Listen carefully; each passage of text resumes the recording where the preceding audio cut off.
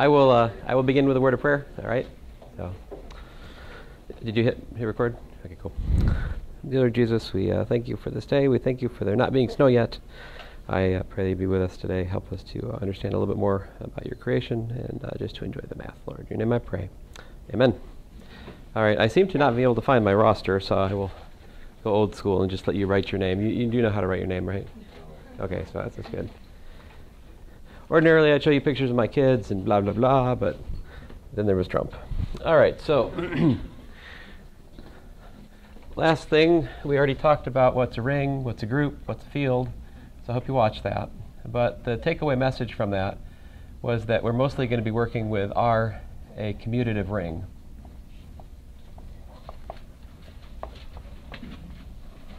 Um, and to say R is a commutative ring is really not to say too much. I mean, this is a very familiar thing.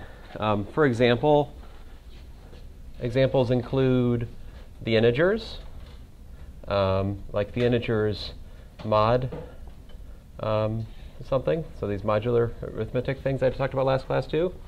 Um, well, last video.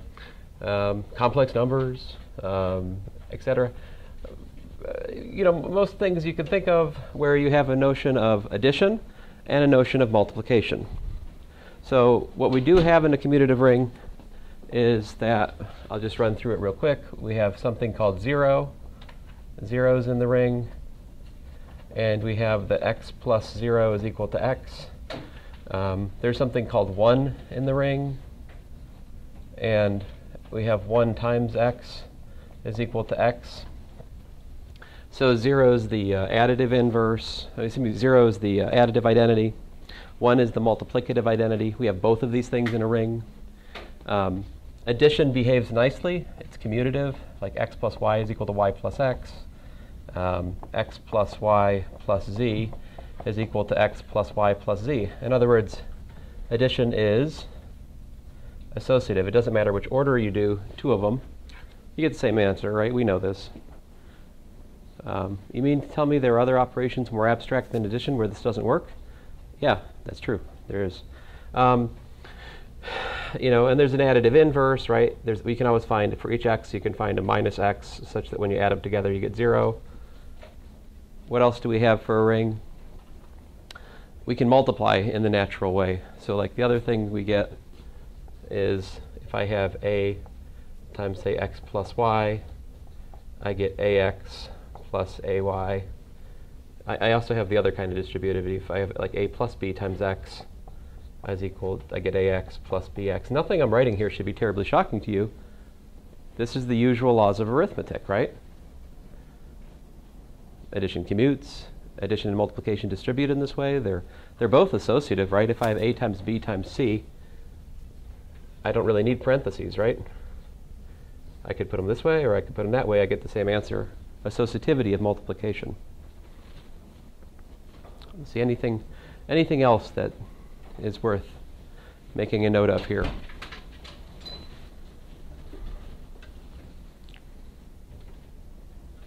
I said commutative. Now, what, what, what does that refer to? This commutative refers to the multiplication. So what that tells us is that a times b is equal to b times a. All right? So all these things together give us the structure of a commutative ring. And again, just to summarize, we can add and we can multiply in the usual way. All right? So today I'm going to tell you about matrices and about how we can do matrix math over a commutative ring. If you look at last year's notes, you'll find that I had real numbers for all the matrices, right? Basically all I've done is taken those notes and cut and paste R in the place of like double bar R. So this is the real numbers, right? The real numbers are also a ring because you can add them and you can multiply them in this natural, or these natural set of laws. Any questions so far? Okay, so before I get to matrices, I have one, one order of business, which is induction. What is induction? Some of you haven't seen induction before formally. So the idea of induction is we have some claim P, and it has some dependence on n, where n is a natural number. So to claim let me just state the basic idea. Um, to prove P of n true for all n in the natural numbers, we may, step one, show P of 1 is true. And step two, we can assume that P of n is true for some n greater than, um, well, greater than or equal to 1. The quality doesn't hurt. And then, and you have to show that, assume that, assume that it's true for P for n, and show P of n plus 1 is also true. Then by the properties of the natural numbers, and what's called the technique of proof by mathematical induction, it follows that the claim is true for all n. This is proof by mathematical induction. Right? I'll show you an elementary example of this before I get too carried away. Let's see here. How about this? 1 plus, uh, plus 2 plus 3 plus da da da da plus n is equal to what? Do you guys know? n times n plus 1 over 2. Let's see here. That's some kind of crazy claim. Let's check it. So this is the claim. This is so-called P of n. Right? That's the claim. Is P1 true? Consider n equals to 1. So we have 1 uh, that's that's that's it. That's the this this is just one when n equals one, right? And one is equal to one times one plus one over two. Is that true? Um, yeah, that's two over two. Okay, so yeah, so clearly p of one is true.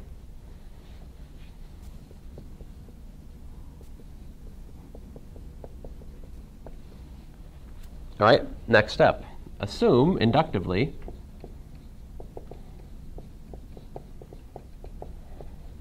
that uh, P of n is true. And let me be more specific here, that 1 plus 2 plus da da da plus n equals to n times n plus 1 over 2 for some n in the natural numbers.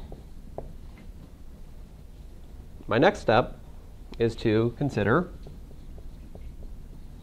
the n plus 1 case. So to show n plus 1 is true, I got to go one side or the other and try to get it back to the other. I mean, so I think to me, the most, I, I mean, I could try to start on the right hand side of the claim, but my goodness, that, that doesn't seem like a good idea. I'm going to start on the left hand side.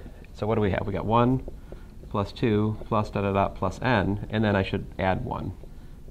Now, what's my goal? My goal is to show that this is equal to the formula with n replaced with n plus 1. So what can I do? What's my first move? I can use the induction hypothesis, which states what? I'll underline it. This stuff right here is the same as that, and we're already assuming inductively that that is n times n plus 1 divided by 2. But then I still have plus n plus 1, right?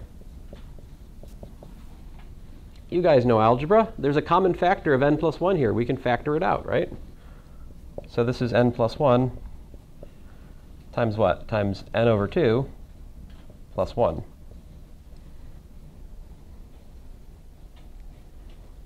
Right? Now I want to factor out a half because I see the formula has a half in it. So factor a 2 out, what do I got? 1 half n plus 1 times what? n plus 2. But what's n plus 2? I'll write it somewhat color-codedly. So we got n plus 1 times n plus 1, you know, plus 1. In other words, this is exactly that formula with n plus 1 in the place of n. So therefore, p of n plus 1 is true. And we conclude that P of n is true for all n in the natural numbers by proof by mathematical induction. That's a nice abbreviation, right? Proof by mathematical induction. This is a pretty famous example, right? This is the one we think Gauss knew about when the teacher asked him to add the numbers from 1 to 100. And then he just like 5050 and put down his put down his slate immediately and the teacher the story goes the teacher's like you know, she's trying to buy some time to prepare the next lesson or whatever. This clown has just made his her, her time waster into like a nothing. But you know, Gauss there's a lot of stories like this. Gauss correcting his father's ledger when he was three. His father was an accountant or something. But anyway, this is pretty standard example. Let me, not a typical induction in here. Usually the inductions in here require less, much less um, ingenuity. Definition. Um, if, let's say, a sub i are an element of a ring, a commutative ring, so, by the way, throughout the rest of this lecture, R is going to be a commutative ring. I'm not going to keep writing that. Let, let us be understood that for the next lecture, few lectures, R is a commutative ring. Um, so if, if you have elements in a commutative ring, then we can define the sum i equals 1 to n of a sub i by a sub n plus the sum i equals 1 to n minus 1, where a sub 1 is equal to 1, uh, is equal, well, excuse me, where the sum i equals 1 to 1 of a sub i is just equal to a sub 1. In other words, this is a recursive definition of the finite sum.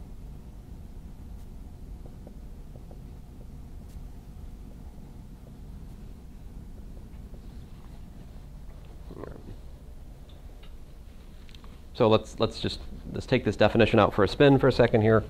What happens when you put, how does this work? If I look at sum, i equals 1 to 2 of a sub i, how's that, how's that go? This is going to be a sub 2 plus the sum i equals 1 to 1 of a sub i, which is what? then by definition, the sum from 1 to 1 is just a sub 1, right? That's where the recursion starts. And so we got ourselves a sub 2 plus a sub 1. Now, usually we write this what? Like this, right? We tend to write things in increasing order of indices just as a point of, uh, I don't know, it's a habit. It's not a bad habit. But um, there you go, that's how this definition works. Now, you're like, but I thought I already knew about sums from 1 to n. Well, you probably did, right? But I bet no one ever really defined it for you. How many people saw this definition in Calc 2? I didn't think so, right? Okay, so why do we care about definitions? We care about definitions because if we want to prove something carefully, we need a definition, right?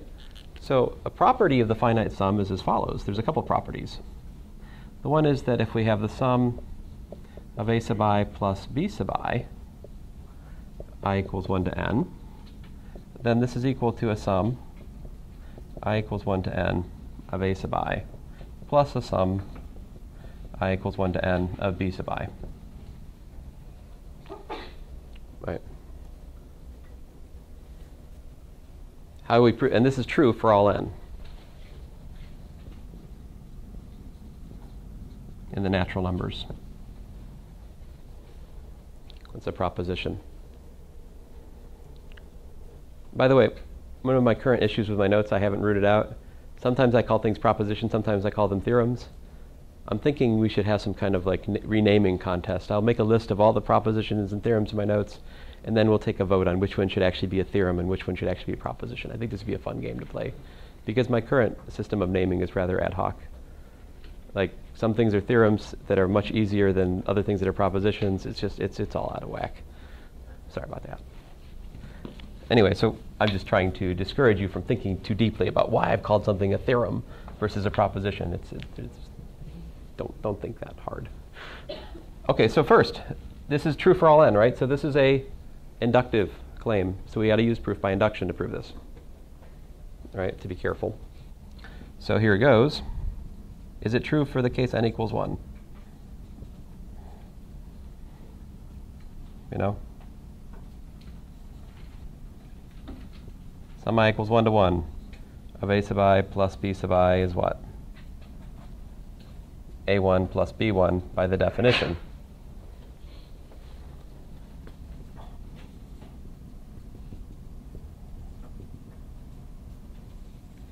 So all I'm doing here is by definition base case.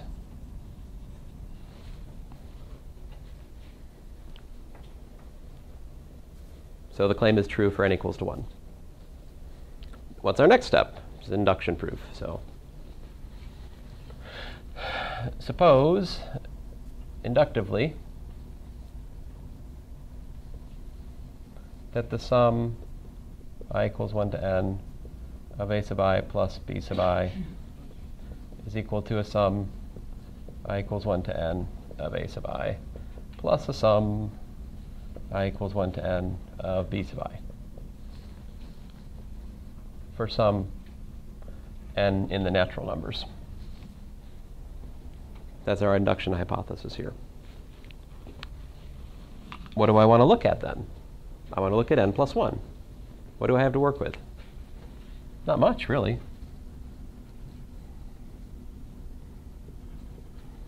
So let's look at sum i equals 1 to n plus 1 of a sub i plus b sub i.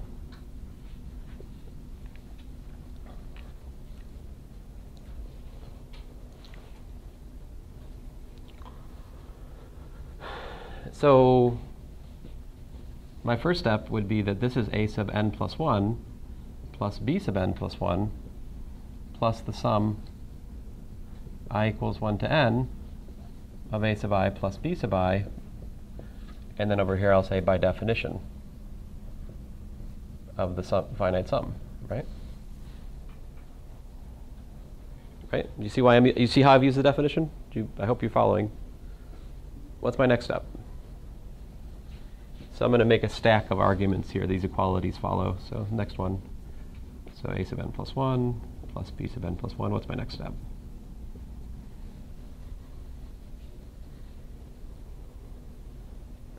At some point in an induction argument, you're going to have to use the induction hypothesis.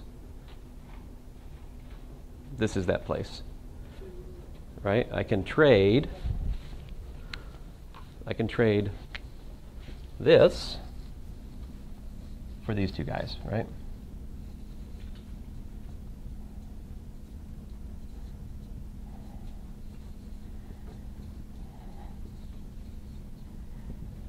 by the induction hypothesis.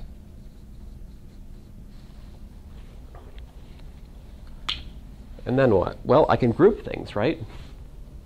See what I can do? This guy and this guy come together to give us what?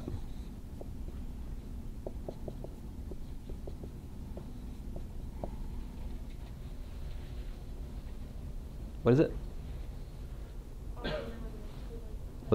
Oh, that's suppose. Yeah. Now by explaining the shorthand, I, shorthand, I have undone its usefulness. Oh well. and then, how about this guy? bn plus 1. These two together give me this, right? What did I use to get from the, the middle step to the last step? Once more, I used by the definition of the finite sum.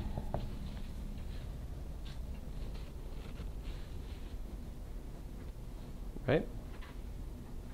But that's exactly the claim for n plus 1. We've proved that sum breaks up. Right? So, thus, the claim is true by proof by mathematical induction since I've showed that n implies n plus 1. Okay, so one of your homework problems is very much like this. in your homework, I have asked you to prove through a similar argument that if you have c times a sub i, i equals 1 to n, that that's equal to c times the summation i equals 1 to n of a sub i.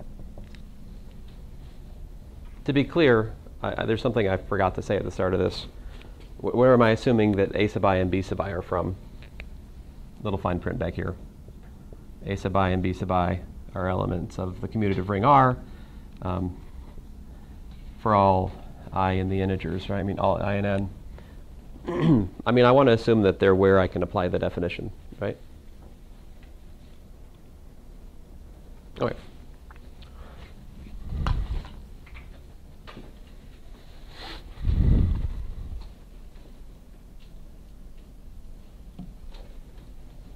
Now, if you've had Math 200, this should be totally like boring.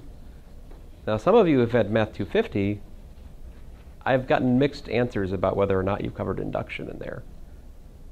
So that's why I covered it in here, just because you may have had a Math 250 where you didn't do induction very deeply. So anyway, I think you can see that the induction here doesn't really require a lot of cleverness, right? It's pretty much, I, and I understand you're doing an inductive argument and use the definition. It just falls right out, right? It's not that complicated.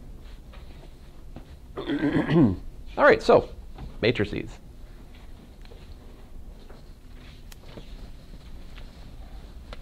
What is the matrix? Right? Oh man, my shirt is letting me down. I'm gonna have to use more of the juice. Do you guys have a good break? My break was not long enough. There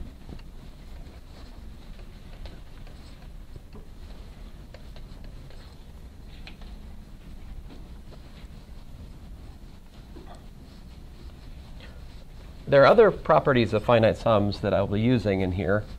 The other main one is that if you have two finite sums like in a row, suppose you have a sum over i and a sum over m, then you can switch the order of them. But um, I'm not going to write that down. It's in the notes. And um, I'll point out when we're using it, when we use it in future lectures. The properties of finite sums, of course, are kind of in the background of a lot of what we're doing. So there's that.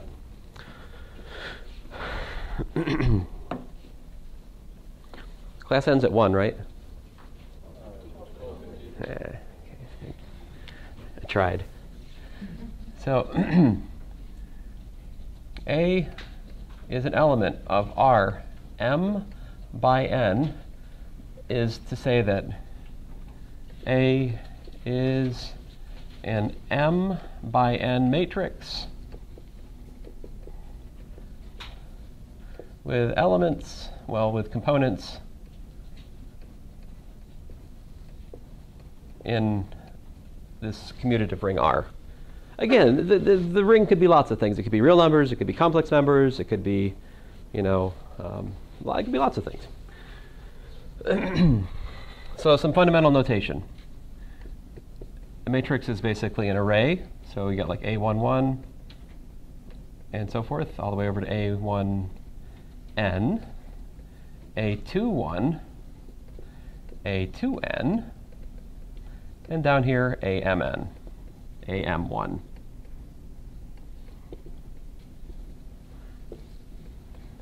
So this has m rows and n columns. All right. A is a matrix.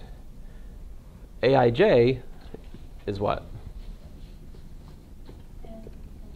right? A component, or sometimes they'll say an element of, um, is a component of the matrix. so this is an element of R in particular. So for this matrix. So this, this thing I have up here, R m by n, is actually the set of all m by n matrices over R. Okay.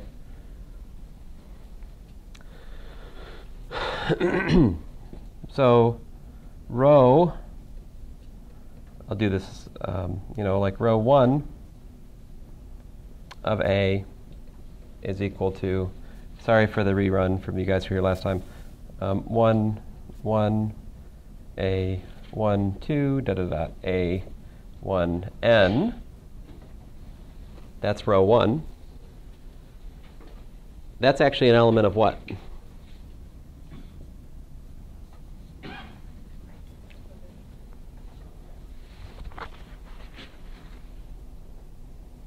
How many rows are there in here? One. How many columns? N. So this is a 1 by n matrix. Each row is itself a matrix of a different size. And we can also write column 1 of A is A 1 1, A 2 1, dot, dot, dot, dot, A M 1. And this, by the way, our notation, we have a sneaky notation in here because writing columns is kind of a drag. So we like to have a sneaky notation, which is a column, but without writing a column. And to do that, I do this parenthetical thing here. So this is a, it's a hidden notation of this course, all right? I don't like to do this kind of notational thing too much, but it, it's kind of a necessary evil to avoid bad typesetting. Because I do like to talk about columns. But I don't like to have a column, an explicit column in the middle of a, uh, you know, a line of text. So I need something to make columns into rows. I have two options. I can either I can either write it like this. So this is a sneaky notation. This actually means that. I'm just this is a definition I'm making. So there's a difference between putting these kinds of brackets and putting these kinds of brackets. See those I distinguish those. Okay? Be aware of that. Now this is an element of our what?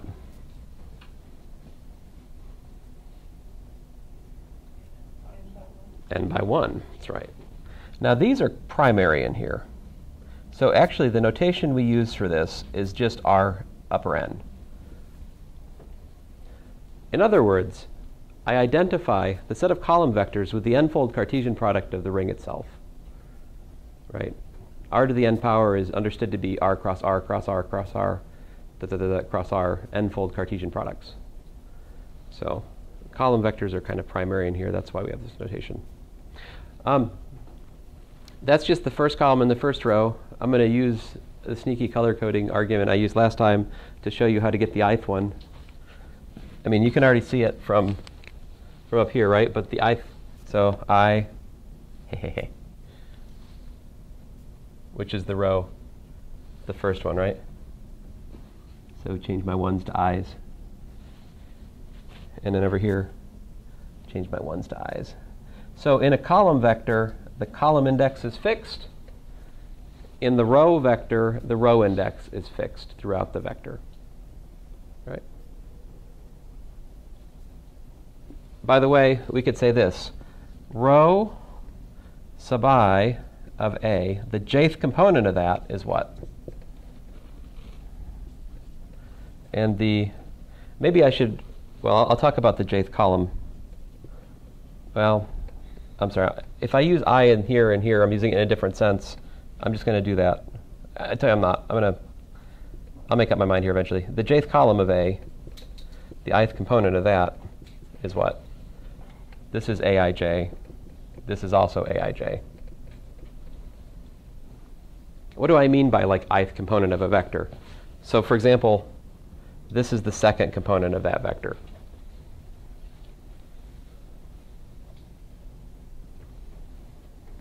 I sense some people don't follow me. Let me just write something out here. So if v is equal to, say, v1, v2, da da da, vn, then v sub, you know, um, well, let me say alpha. Alpha. I'm using a different letter for a second here, then V sub j is by definition alpha sub j. I mean, sorry. When I write parentheses and like a sub thing, that means pick off that component of it. And I'm using angle bracket as sort of a generic notation to think of either column vector or row vector for the moment. All right. Are we good on this basic notation? I hope. All right. Let me talk to you about something that's slightly more interesting. Can I erase? I'm, I'm erased.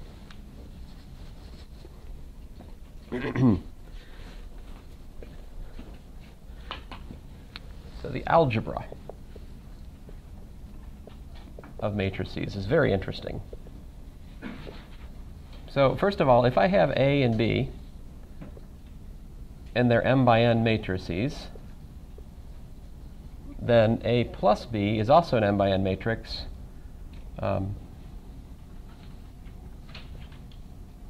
and how do we define it?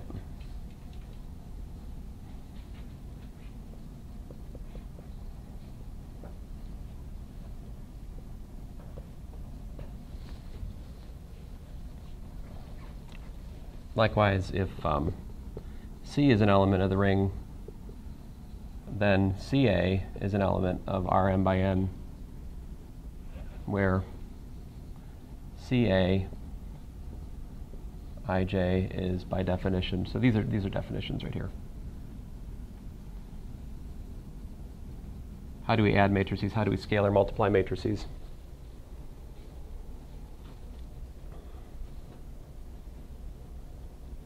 Is one of those definitions I give in here I think that everyone would make even if I didn't tell you. Like I could safely skip this and you would all still know what to do. but um, you do it component wise is the thing, all right?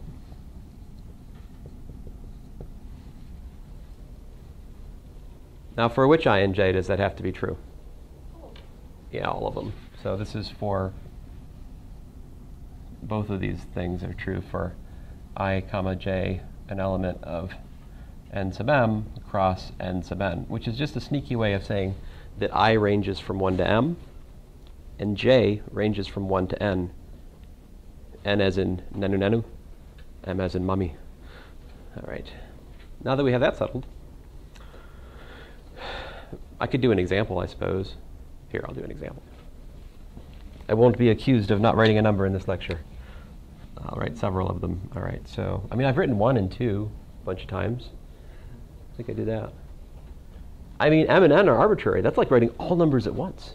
If you think about it, I've written infinitely many numbers in this lecture already. So let's see here. About 0 bar, 1 bar, 2 bar, 3 bar, plus 4 bar, 5 bar, 6 bar, 2 bar. And we're going to do this calculation over z mod, you pick it. What do you want to do?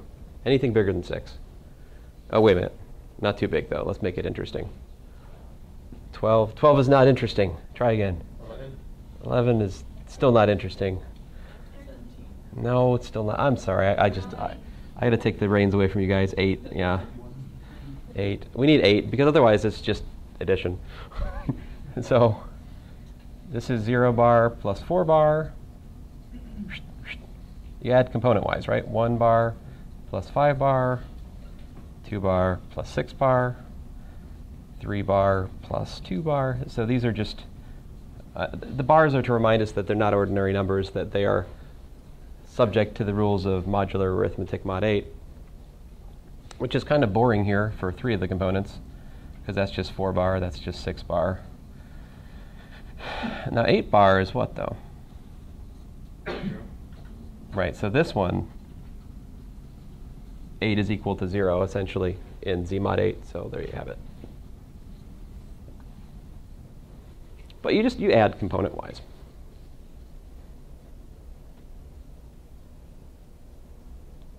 All right? In my notes, I proved properties of matrix addition and scalar multiplication, which are kind of like not surprising, like a plus b is equal to b plus a for matrix multiplication, right? There are other things that are true for matrix multiplication, like for example, if I have C1, oops, if I have, for example, if I have uh, C1 plus C2 times a matrix, you know what I get? I get C1 times A plus C2 times uh, C2 times A. And if I have C1 times A plus B, I get C1 times A plus C1 times B. So the usual laws of like addition and multiplication by numbers they work just as well with matrix addition and scalar multiplication. Um, all right. now,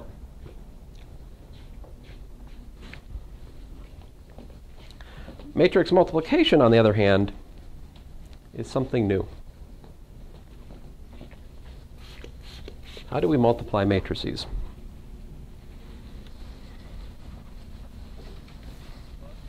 Yeah. Oh no. So the the when I draw vertical bars in matrices or big crosses in them, all that is is just um, you know it's it's a what's the word? It's an organizational aid. It's not really part of the matrix per se. I mean, we have some customs, like we'll draw a dotted line in the augmented matrix, but it's still, you know, if it's a 3 by 4 matrix with a dotted line, it's still a 3 by 4 matrix without the dotted line. It's just kind of a, um, I don't even know what's the word. Yes, that's right. I was saying that in a very confusing way, but thank you. Um, so that's good. No, um, another example of that would be these commas. Well, the commas are not like the co- commas have to be here in the column notation. you'll see why as you just think if you just think about it as you go on, you'll see why these commas have to be here. But on the other hand, sometimes when I write a row, I don't write commas. Sometimes I do. Sometimes I'll write dividers in. All right. So, um, in fact, that's that's what's known as concatenation. Concatenation. So if I have like, if A is say m rows by n columns, and suppose B is say m rows by q, q columns, then you can either form A, B, or you can form B, A, and these will be bigger matrices which are formed from gluing those together. So there's, I mean, there's also that use of this like bar notation, which is interesting, more interesting than what I was doing there. This is a what? This is an M by, how many columns does it have now? Yeah, N plus Q columns. Concatenation is actually very interesting and, and one of the really fun things we do in terms of matrix operations in here. So that, anyway, ma matrix multiplication, we need to make a definition. How do you multiply two matrices?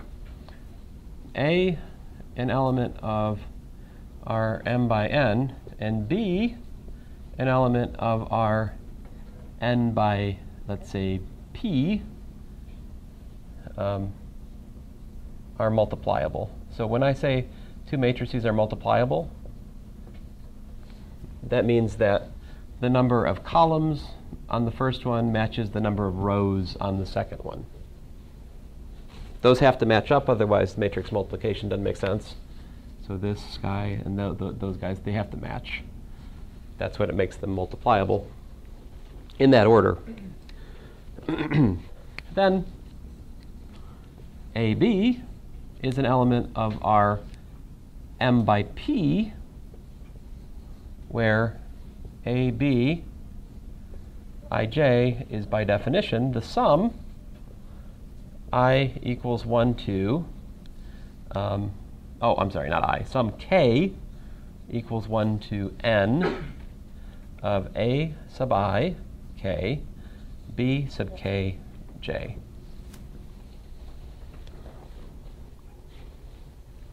So that, that's the definition of matrix multiplication as concisely as I can make it. Now there are special cases, yeah. Uh, what's the very top right symbol or letter there? R by M by N by.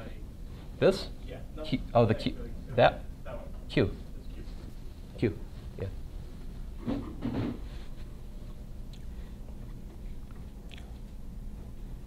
So if two, mat- two matrices are multipliable, this is how we multiply them. Now, um, there are some special cases like um,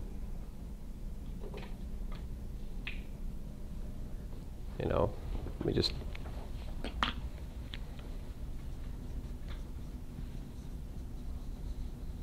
special cases, you've got um, matrix times column. So that would be like m times n times n times 1. the output in this case, it's just going to be a an m m as in mommy by one.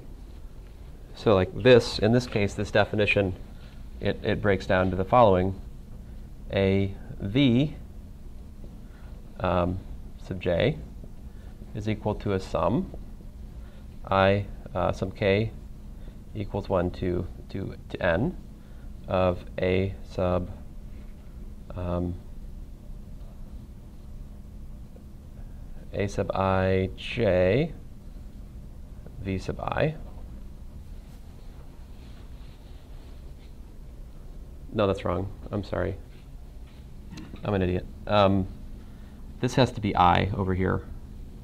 I'm trying to use i as, well, anyway, I'll, let me shut up. So i, k, v, k. There we go. That's what I should write.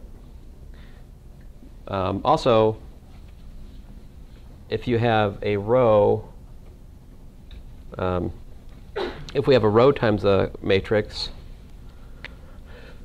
this rule simplifies to a slightly different. I mean, there's not two indices, is the thing.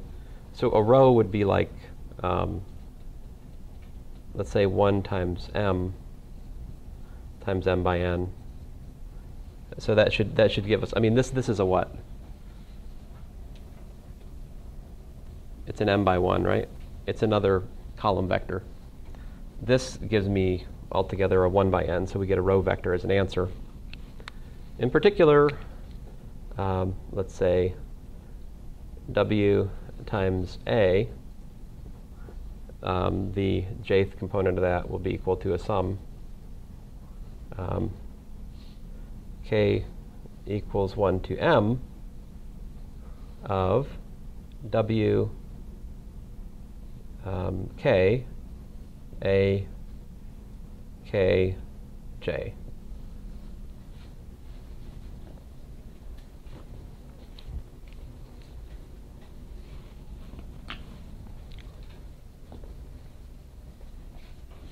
Let's see here.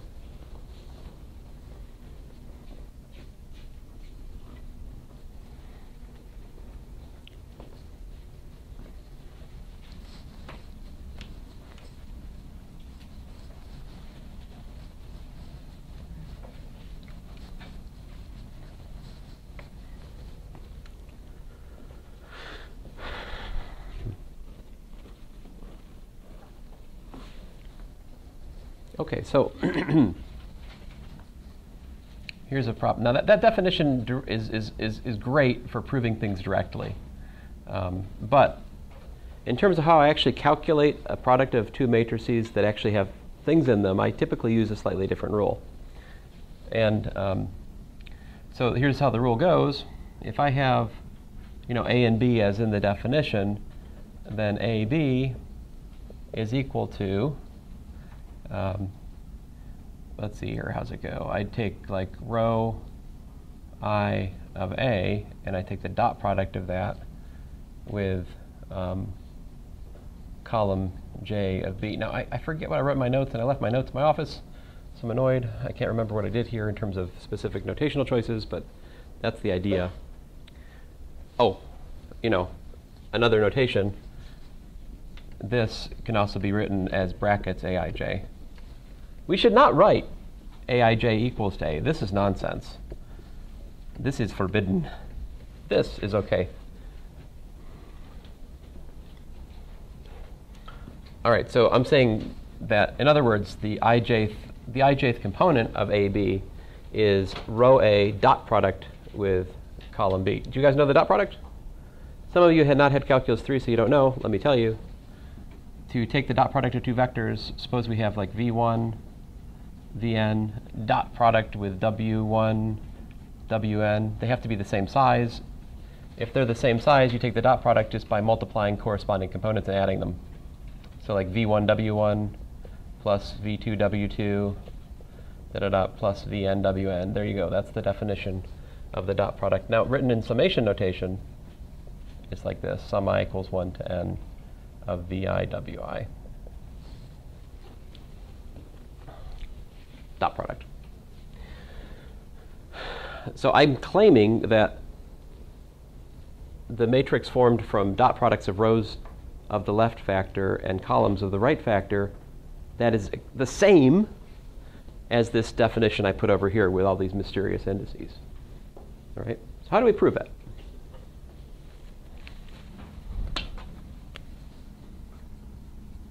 So last time, I, I emphasized to those of you who are here, we, two, we show two matrices are equal by showing that their components match. Right? That's our, tip, that's our typical method of proof for proving something's true about a matrix. So what I want to do here is I want to look at AB, and I just want to look at, say, the, um, the ijth component. All right? And so what is that? Well, by definition, that's what?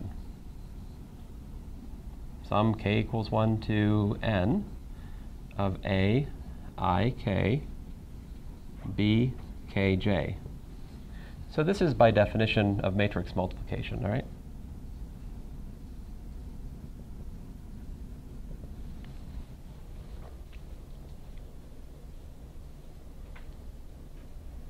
But, but what is that?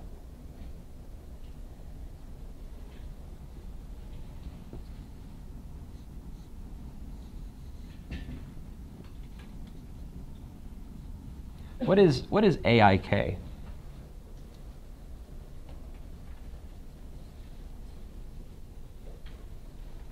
AIK. So replace this J with a K, and you see what you have is you have the kth component of the ith row.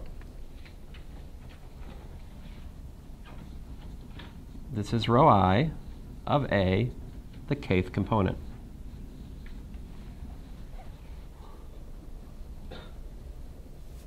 And what about BKJ? What's that? Well, you notice that, I mean, the, the J is fixed there, right? So that's, that's, that's the, hey, that's the kth component of the jth column.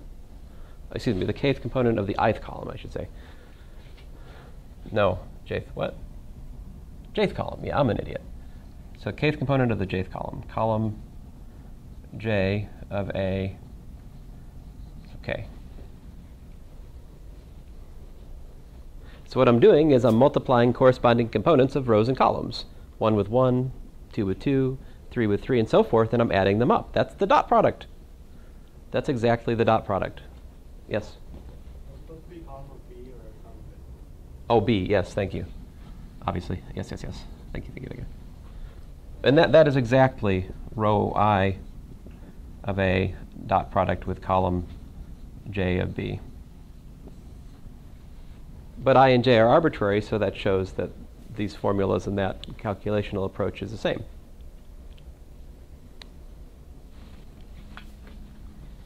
All right, so as an example, suppose I have 0 bar, 1 bar, 2 bar, 3 bar, and I'm multiplying it by um,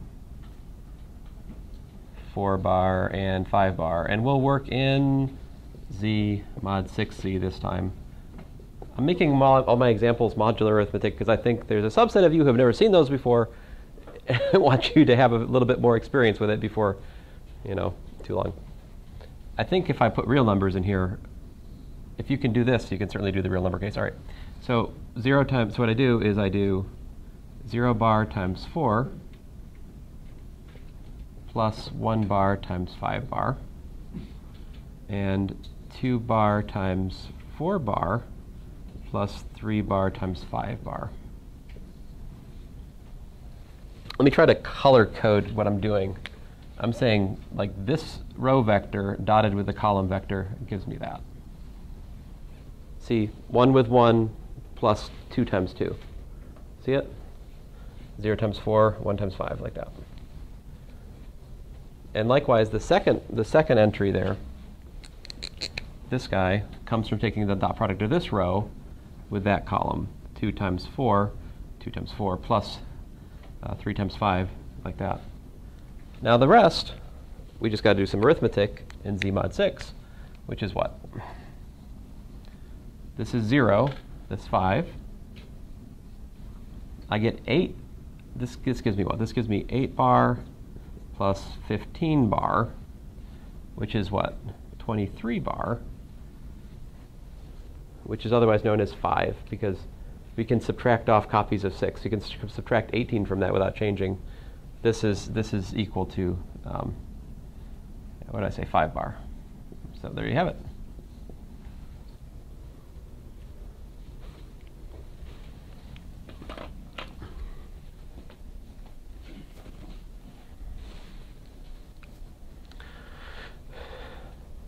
All right, so anyway, next class, which I probably won't get to see you in person for, we will cover further properties of matrix multiplication and such. Um, I think the homework is going to be due Wednesday. I'm a little bit behind, so I'm sorry about that. The homework is posted in course content, so you can go work on it. And you should remember to read my lecture notes. Like, I'm not following the textbook quite yet. We will, after quiz one especially. But up to quiz one, I'm just collecting all of my favorite matrix operations that you guys should know and work through. So.